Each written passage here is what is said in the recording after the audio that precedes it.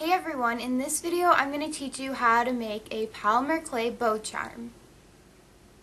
Here's one. Also, here's a giant one with white polka dots. So for this craft, all you really need is some oven baked clay and you can get that at any craft store and it comes in such brands as Sculpey 3, Fimo, and Premo. Start off with two pieces of clay and you're going to flatten this one and add points to either side of it. Once you've flattened it out a little bit, go ahead and start pinching in the middle and then continue to flatten it even more. You kind of want to form it into a mustache shape. And of course, make sure that the two sides are as equal as possible. Now it's time to fold the points into the middle. Don't worry too much about smoothing the crease out because we're going to put a band around the bow. So put this aside for a second and grab your other smaller piece of clay. Form it into a rectangle and flatten it out.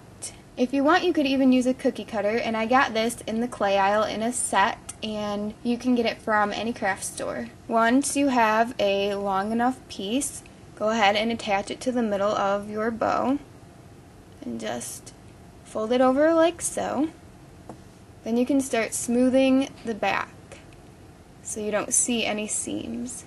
It's up to you what shape you want your bow to be. You can leave it like this or you can bend the sides a little bit. You could even stretch them out. And with some sort of tool, again I got these from the craft store in the clay aisle, you can add a little line to make it look more realistic. And there you have it. A really cute polymer clay bow. And if you want to make it into a really cute charm, go ahead and add an eye pin before you bake it. You can bake this in an oven or a toaster oven, never a microwave. And if you're adding glaze to make it shiny, add the glaze after you bake. And that's pretty much it. If you have any other questions about polymer clay or specific charms or if I can do a tutorial on a certain charm, then just let me know in the comments below. Disregard the mess behind me. You won't be seeing it during the tutorial because I am just going to show the up close footage, you know. But Madonna's on my TV because we have 80s on 8 on Dish Network. Thank you guys so much for watching. I hope you enjoyed this video. Check out all of my links in the down bar. Subscribe to my channel if you haven't already.